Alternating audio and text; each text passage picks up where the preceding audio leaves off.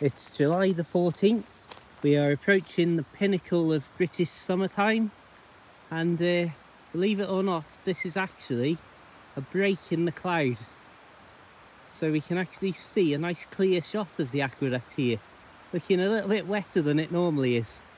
And having a canal run across it it normally looks pretty wet to be fair Hello there folks, I'm Dan Brown from Sort of Interesting and yes I am out here enjoying an absolutely lovely walk in these conditions. Now you may know in the past I've tried to raise the alarm in some of my boat life videos about over romanticising the canals and seeing all of this footage of these long lazy beautiful sunny summer's days and of course one of my favourite days ever, a beautiful snow covered winter's day when the reality is you will have possibly scattered throughout the year at random, such as here in July, some of these obnoxiously wet periods. We've had flooding all around the region over the last two weeks of North Wales and Shropshire. I know it's been going on in other parts of the country and uh, that comes after about a three week heat wave that was itself extraordinary to behold. Uh, so yeah, as always, I mean, how is this, how is it this dark under the trees at flipping midday in July. What's going on here? it probably won't surprise you to know that I haven't bumped into anybody else out and about while I've been down here by the river. And that's something that I've spoken about before actually, that it surprises me that an area that is usually as beautiful and inviting and welcoming as this, with so many wonderful features around, can so often outside of the key tourist times of say the weekends and bank holidays be almost utterly, not abandoned, but just empty, just desolate of humanity. And I mean, I've been down here at say seven o'clock in the evening on an absolutely beautiful weekday, and it's like everybody's given up by the time that they've got to the car at the end of the working day. The fact that this place is on the doorstep for, well, tens of thousands of people, I would say, live within 15 to 20 minutes of here, of this exact spot, I'd say almost.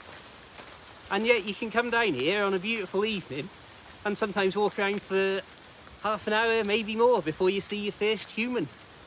Again, I sort of, in some respects, I enjoy it as a private playground that I can run around and do my filming in in relative peace and make a fool of myself doing 10 takes to camera saying the same thing slightly differently because I I just don't quite like the sound of my screechy voice in each take.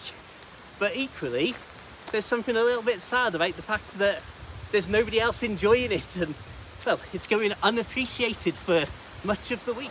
Even after a week or two of pretty heavy rainfall, because it's still midsummer, the water level is actually surprisingly low, I'd say, compared to obviously the prolonged gathering and pounding by the elements that a full winter of wet weather brings. Well my friends, that is a significant amount of water compared to the middle of summer when I often hop across the stones sticking out of the surface of the river. What an absolutely beautiful day though. Now you can choose whether to believe this or not, but had we got here maybe half an hour ago, we would struggle to see the hilltops that make the horizon along here. Whew.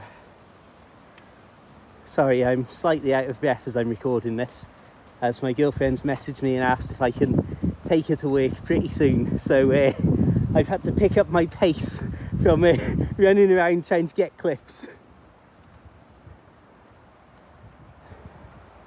Part of me that's almost disappointed I didn't get here in the really bad weather where we couldn't see anything at all from here. But at the same time, I'm also happy to use uh, my girlfriend wanting a lift to work as an excuse for me to get back in before the next lot of proper rainfall comes. It's forecast around 50 minutes. So uh, yeah, thanks for joining me. I know this has been a strange sort of video, more of a, an actual vlog than an actual real life thought out sensible video. God, who would have thought I'd ever produce something rubbish? Anyway, thank you so much for tuning in. Please do check out my books about boat life if you're interested in helping me out and seeing more from the wonderful canals. And uh, well, until the next time, my friends, keep it interesting, keep it boat worthy, and of course, my friends, farewell.